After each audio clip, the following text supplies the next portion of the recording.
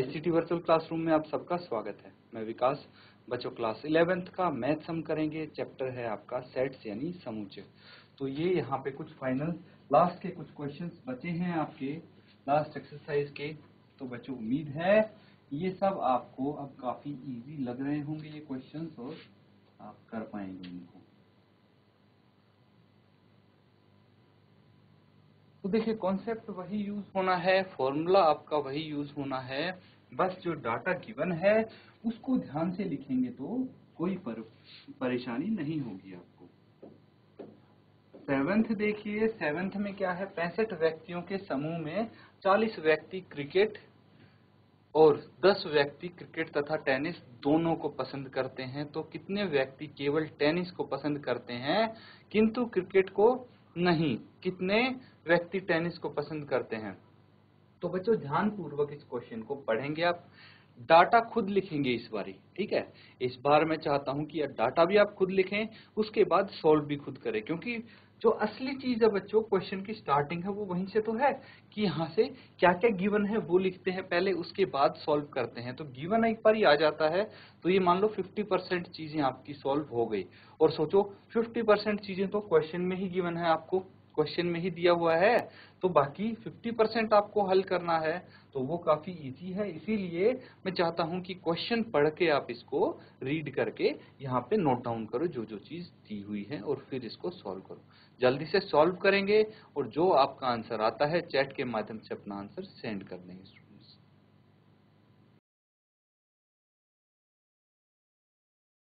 तो students given तो आपने लिख लिया होगा।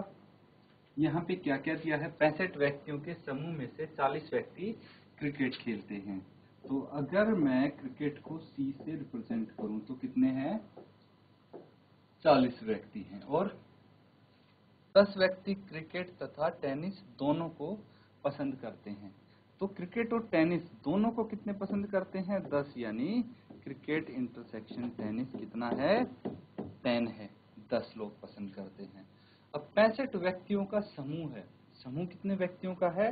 65 व्यक्तियों का है, यानी सी यूनियन टी कितना है? 65 है। आपको बताना क्या, देखिए, ये गिवन है। अभी तक यही चीज़ आपको दी हुई है। बताना क्या है? तो कितने व्यक्ति केवल टेनिस को पसंद करते हैं, किंतु क्रिकेट को नहीं? तो यहाँ पे ध्यान दीजिए थोड़ा सा बच्चों अलग तरीके से आपको पूछा गया है, कितने कितने व्यक्ति केवल टेनिस को पसंद करते हैं, टेनिस को पसंद करते हैं, लेकिन क्रिकेट को नहीं तो क्रिकेट को हम उसमें से हटा देंगे। ये हमसे पूछा गया है, इसका तो हमें पता नहीं है। फिर फाइनल क्वेश्चन क्या पूछा गया है? कितने व्यक्ति टेनिस को पसंद करते हैं तो टेनिस को पसंद करने वाले व्यक्तियों की संख्या भी आपको यहाँ पे फाइंड आउट करनी है, बतानी है स्टूडेंट्स ये गिवन है। देखिए, सूत्र आपको पता है फॉर्मूला क्या लगेगा? उस फॉर्मूले का यूज़ करके, ये डाटा यूज़ करके आपको आंसर निकाल देना है। कैसे निकालेंगे? देखिए, यहाँ पे है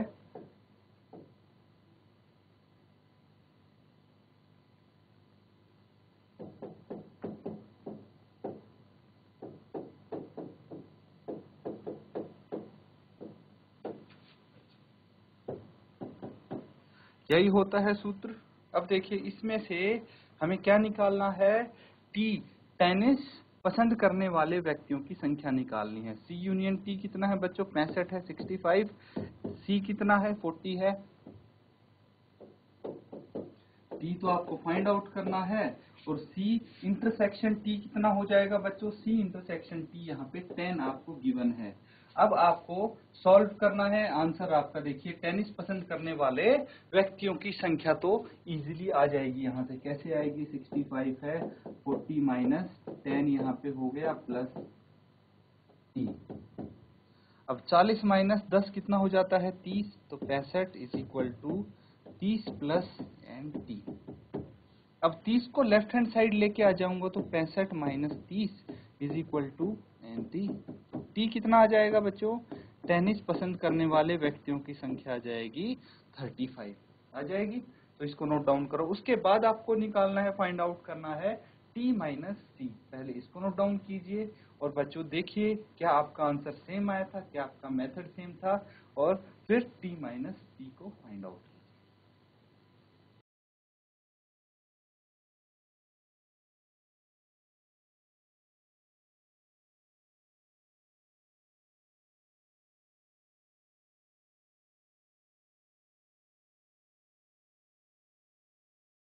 चलिए स्टूडेंट्स इसका देखिए, अब फाइनल पार्ट हम करेंगे एन टी माइनस सी निकालना पड़ेगा हमें। तो ये क्या निकाल रहे हैं हम? यहाँ पे निकाल रहे हैं ऐसे।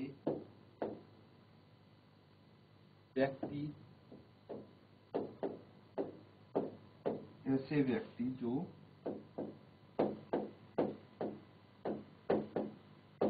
टेनिस को पसंद करते हैं।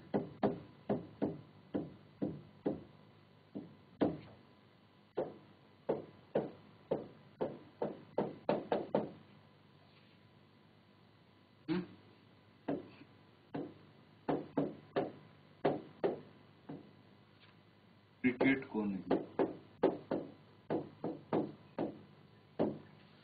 तो ऐसे व्यक्ति की संख्या क्या होगी बच्चों? N T minus C is equal to N T minus C intersection ये होगी कैसे होगा बच्चों? ये हमने डिटेल में डिस्कस किया था। जब हम कॉन्सेप्ट कर रहे थे तो वहाँ पे डिटेल में हमने इसको डिस्कस किया था। चलिए, कोई बात नहीं। एक बार और हम इसको डायग्राम की मदद से समझेंगे तो आपको बेहतर समझ में आएगा। उम्मीद करता हूँ बच्चों, जहाँ भी कोई डाउट लगे बच्चों इमीडिएटली आप पूछ लीजिए। क्योंकि मैं चाहता हूँ आपको एकदम बढ़िया तरीके से समझ में आ जाए। तो देखिए, ये यूनिवर्सल सेट है, ये टी मान लीजिए, ये सी मान लीजिए, ठीक है? तो ये जो बीच का रीजन है, ये क्या हो गया? ये हो गया टी इंटरसेक्शन सी यही हो गया टी इंटरसेक्शन सी और यहाँ पे देखिए, ये क्या हो गया? ये हो जाता है टी माइनस सी कौन सा रीजन सिर्फ़ ये रीजन बच्चों, ये रीजन जो यहाँ तक है, ये हो जाता है टी माइनस सी और तो ये रीजन आपको दिख रहा है, ये एरिया दिख रहा है, ये हो जाता है आपका टी माइनस टी और ये जो रीजन है बीच वाला, ठीक है, ये जो बीच वाला रीजन है, ये वाला रीजन ये हो जाता है टी इंटरसेक्शन सी अब हमें क्या करना है? सिर्फ़ टी माइनस सी निकालना है। टी माइनस सी कैसे निकलेगा? देखिए, सिर्फ़ ये रीजन निकालना है तो उसके लिए स्टूडेंट्स हमें क्या करना पड़ेगा? हमें जो टी है, ये टी है टी क्या है? ये पूरा देखिए, जो सेट है, पूरा, यहाँ से यहाँ तक। इसमें टी इंटरसेक्शन सी भी इंक्लूड है है ना? टी इंटरसेक्शन सी भी आता है टी में। तो वो हमें माइनस करना पड़ेगा बच्चों, है ना? ये माइनस करना पड़ेगा टी इंटरसेक्शन सी है ना? तो यही यहाँ से हमारा फॉर्मूला आया था। बच्चों, ये दोबारा मैंने आपको इसलिए एक्सप्लेन किया, हो सकता है कि आप ये माइंड से निकल गया हो, ये चीज़ ऐसी नहीं होनी चाहिए। आपको बिल्कुल ये चीज़ पता होनी चाहिए, शुरू में ही आपको नोट डाउन करके अच्छे से इसको रिवाइज कर लेना था। तो देखिए, यहाँ से हमारा ये फॉर्मूला आया है। इस फॉर्मूले में वैल्यूज़ रख देंगे। अब वैल्यूज़ क्या रखेंगे? टी की वैल्यू पता है टी इंटरसेक्शन सी की वैल्यू पता है, यहाँ से हमारे पास टी माइनस सी आ जाएगा, यानी ऐसे व्यक्ति जो टेनिस को पसंद करते हैं, लेकिन क्रिकेट को नहीं। जल्दी से इसको आप सॉल्व कर लीजिए।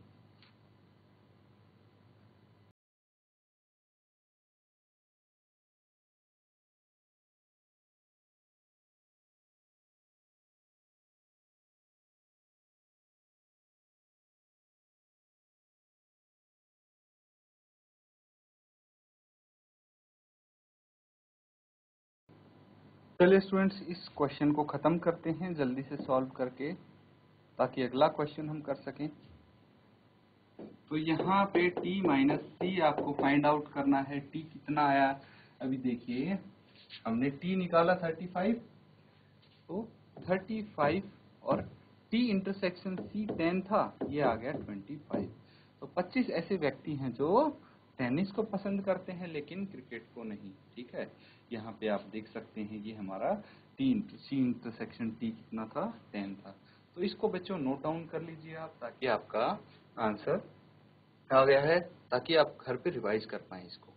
अब बच्चों, अगला क्वेश्चन हम करेंगे। नेक्स्ट क्वेश्चन है क्वेश्चन नंबर एट तो क्वेश्चन नंबर एट जो है, उसके सबसे पहले जो चीज़ें दी हैं, वो आप लिखेंगे गिवन लिख के, फिर उसके बाद इसको हल कर लेंगे, है ना? क्वेश्चन एट एक बार मैं एक्सप्लेन कर देता हूँ एक बार आपको, ताकि इजीली आप इसको कर पाए। यहाँ पे बोला गया है, एक कमेटी में 50 व्यक्ति फ्रेंच ठीक है? एक कमेटी में पचास व्यक्ति फ्रेंच बीस व्यक्ति स्पेनिश और दस व्यक्ति स्पेनिश और फ्रेंच दोनों। और आ गया है यहाँ पे मतलब क्या आएगा?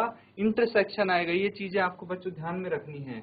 दोनों ही भाषाओं बोल सकते हैं। कितने व्यक्ति इन दोनों भाषाओं में से कम से कम एक भाषा बोल पाएँगे, ये आपको बताना है बच्चों। तो आठवां आप खुद सॉल्व करके देखें और बच्चों आंसर बताएँगे, क्या आंसर आएगा जल्दी से। हल कीजिए स्टूडेंट्स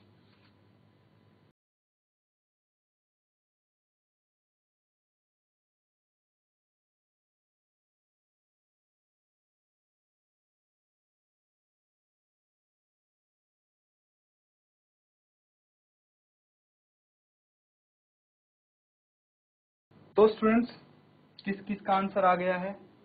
आंसर अभी तक आ जाना चाहिए, क्योंकि बहुत सारे क्वेश्चन हम कर चुके हैं इस टाइप के। यहाँ पे देखिए, जैसे फ्रेंच है तो हम एफ़ से उसको रिप्रेजेंट कर सकते हैं।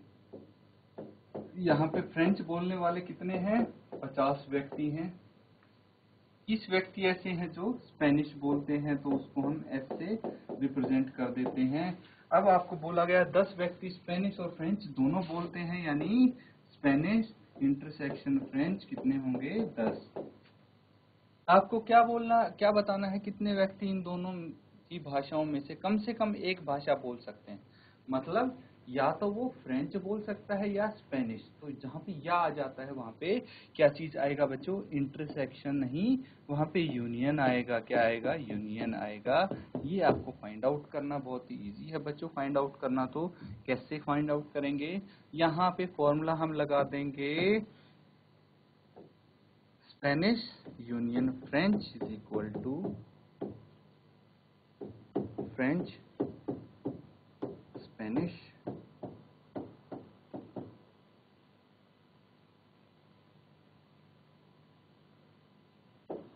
intersection French अब क्या करना है स्टूडेंट्स यूनियन आपको निकालना है फ्रेंच कितने हैं? 50 प्लस स्पेनिश बोलने वाले 20 हैं माइनस स्पेनिश इंटरसेक्शन फ्रेंच कितने हैं? 10 हैं। सॉल्व कीजिए करेंगे इजीली हमारा आंसर आ जाएगा 50 प्लस 20 70 माइनस 10 ये आ गया 60 तो 60 लोग ऐसे थे जो आ, कम से कम भी एक भाषा बोल सकते थे। तो नोट डाउन कर लीजिए, ये आपका आंसर होगा स्टूडेंट्स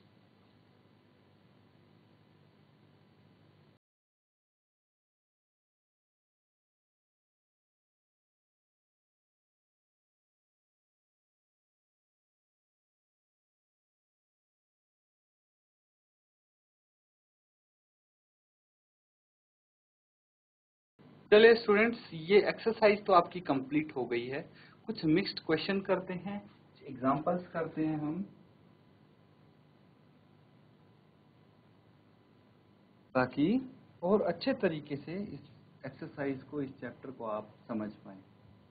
अब देखिए, यहाँ पे आपका ये चैप्टर कंप्लीट होता है बच्चों। तो किसी को कोई अगर डाउट होता है प्रॉब्लम है तो आप इमीडिएटली पूछ लीजिए इस चैप्टर में। यहाँ पे हम लगभग लगभग सारी चीज़ कवर कर चुके हैं इस चैप्टर से रिलेटेड देखिए, ये एग्ज़ाम्पल 25 है, यहाँ पे आपको क्या गिवन है, वो देखेंगे। यहाँ पे 35 विद्यार्थियों की एक कक्षा में 24 क्रिकेट खेलना पसंद करते हैं 16 फुटबॉल खेलना पसंद करते हैं। इसके अतिरिक्त प्रत्येक विद्यार्थी कम से कम एक खेल अवश्य खेलना पसंद करता है।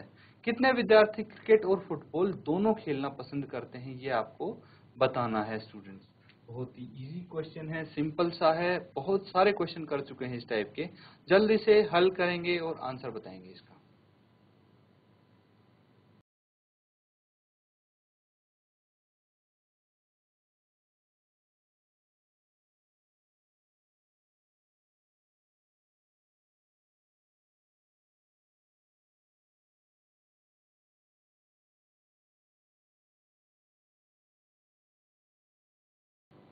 चलिए स्टूडेंट्स साथ में इस क्वेश्चन को सॉल्व करते हैं।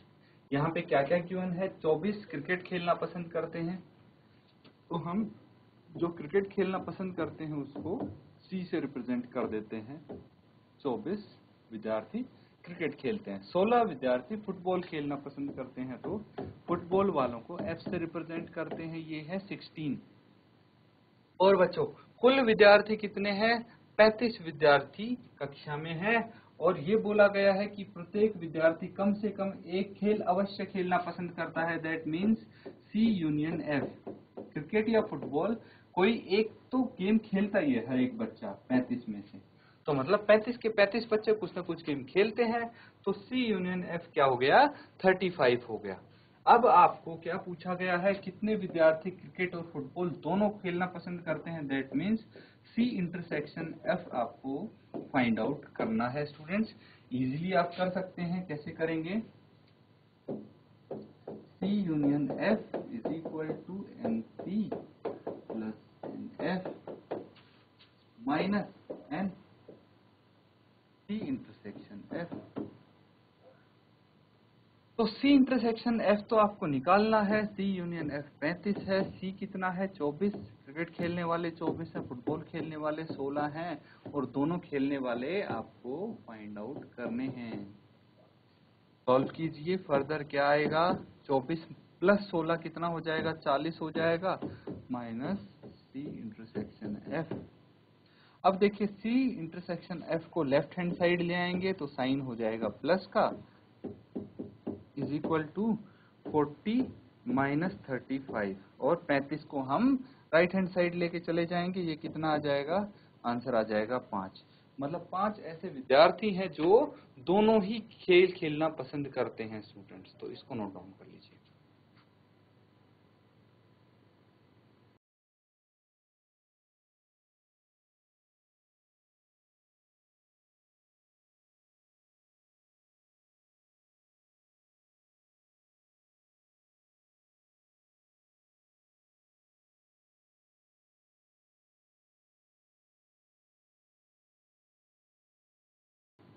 तो स्टूडेंट्स एक बार देखिए, ये चैप्टर अब आपका कंप्लीट हो चुका है बिल्कुल। हम रिवाइज करते हैं क्या क्या हमने यहाँ पे किया था, ठीक है? सारे टॉपिक्स हम रिवाइज करते हैं। काफ़ी सारे हमने यहाँ पे किया था, जैसे समुच्चय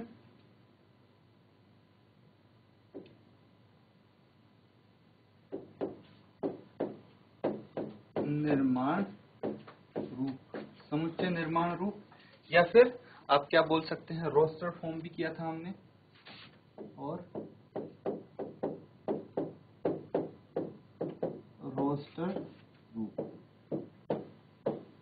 ये किया था, उसके बाद बच्चों हमने किया था रिक्त समुच्चय।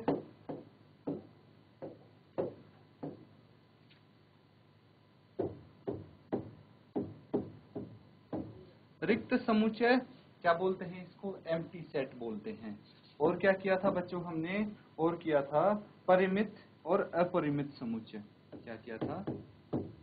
परिमित और अपरिमित। अपरिमित समुच्चय। यानी इसको हम बोल सकते हैं फाइनाइट एंड इनफाइनाइट सेट्स और क्या किया था? और किया था बच्चों? समान समुच्चय। समान समुच्चय किया था हमने। और क्या किया था बच्चों? समान समुच्चय के बाद हमने किया था पावर सेट किया था। घात समुच्चय। और हमने क्या किया था बच्चों? उप समुच्चय किया था।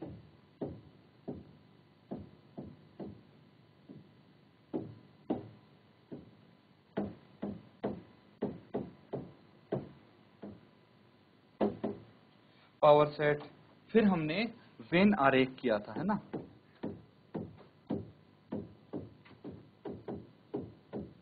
वेन डायग्राम जिसको हम बोलते हैं, वो किया था। फिर हमने यूनियन एंड इंटरसेक्शन, ये किए थे ये तो अभी तक हम यूज़ कर रहे थे यूनियन और इंटरसेक्शन सेट्स के। और हमने बच्चों प्रैक्टिकल क्वेश्चंस भी किए थे जो हमने लास्ट में हमने किए हैं। तो काफ़ी सारे कॉन्सेप्ट्स आ गए थे बच्चों इसमें। ये सभी आपको रिवाइज करने हैं बच्चों, पूरा चैप्टर आपको कंप्लीट यहाँ पे हो गया है। कोई किसी का डाउट हो, नेक्स्ट सेशन में भी आप अपना डाउट क्लियर कर सकते हैं। तो बच्चों, इसी के साथ आज का सेशन हम यहाँ पे एंड करते हैं। Thank you and have a nice day.